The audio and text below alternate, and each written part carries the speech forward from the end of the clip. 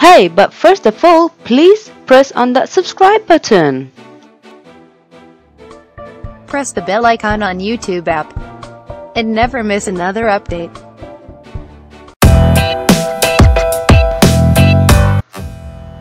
Hi guys, this is the Tech Girl 007. I hope you're doing great. So today I'm going to be showing you guys on how to basically print from your email okay? So it's straightforward.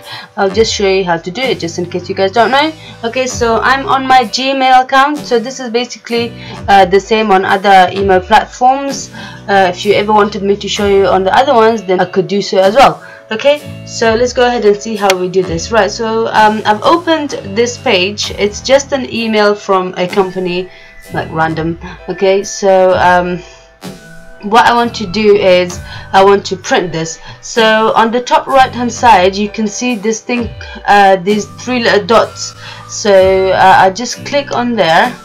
Click on print. You see in here it says print okay? So now if we look on the left side of our screen uh, you can see some uh, settings for the printing okay?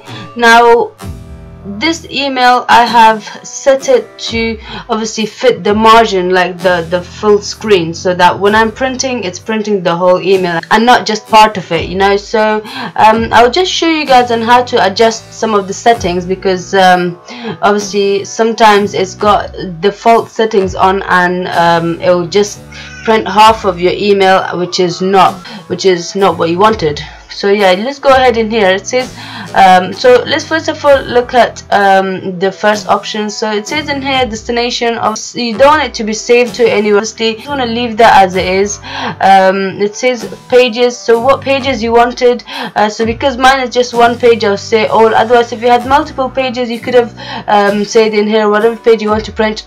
Or if you want to print a certain page so like 1 to 5 or whatever you just want to uh, in here just write one to five uh, and then that would just print it. But because I don't have uh, uh, more than one page it says out of bounds page reference whatever so that's fine. I just say all and then at the bottom it says the layout. So at the moment my page will be printing as landscape because I've set it to landscape as the email is a landscape. So um, otherwise if I wanted to print portrait this is how it's going to look uh, which is also fine but I usually print on landscape because some of my emails are like um, long and the length of the line they write so um, so yeah landscape would be a better option for me so I'll just change it to landscape. And then at the bottom it's giving me the options to whether I wanted to print it black and white or a color print. So I can either choose black or um, color a color or black and white. So in this case I'm going to be going for black and white because there's no much color that I wanted. So yeah it's just writing. And then it says more settings. And here it says the page paper size. It's obviously like an A4 letter size that I wanted so that's fine. I just leave it as it is. Or otherwise if you want it to be more specific I want to say a4 then you could do so as well. But for me uh, letter should be fine. And then the margins it says default. And then I just want it to be default and not touch any of the other ones so that's fine. Yeah the main bit that I wanted to actually point out to you guys was the scale. Okay so it's important because usually the scale for my is going to be a hundred but some of the emails um, would obviously cut the margin. So like it would it would basically cut this bit so it would come up to not and not the uh, to enroll you know? So say I'll just show you an example. So if I say 20 okay? So you can see that there are some bits that are cut in here.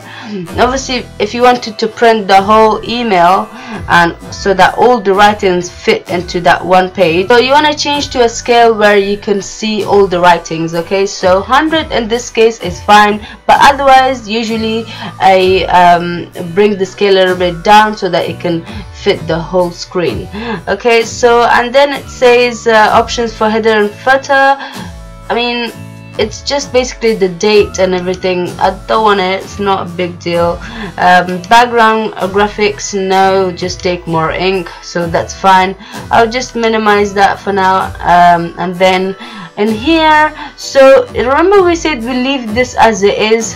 Um, if we don't click on this option it's just going to give us a page where it will be asking us to save it to somewhere. So if I say print in here instead of in, before if I say print in here before actually clicking on this option let's see what's gonna happen. So say print. This is gonna give us give us an option to save it somewhere before we can print it which is sometimes it's not very convenient. Like you don't want to be saving email to anywhere mm, especially if it's just writing. So yeah I just want to cancel that. I'll go back to where we were. Right so now I want, I want to click on here and uh, this page should come up okay? So as you can see it's telling me that what it's basically obviously the right options now. So it's basically taking us um, straight to the printer. So the printer that I have is the XP640 series so that's fine. I've selected that. I just want to say print. Now let's go to the printer and that that has printed. So what we wanted. Alright so that's the end of this tutorial. I hope you liked it. Don't forget to share it subscribe for more. And also on the description down below i will be having a link to, to my other channel. Please have a visit and don't forget and don't forget to subscribe to it if you like cooking and natural remedies that can cure your illnesses okay? And obviously share it. Thank you. Bye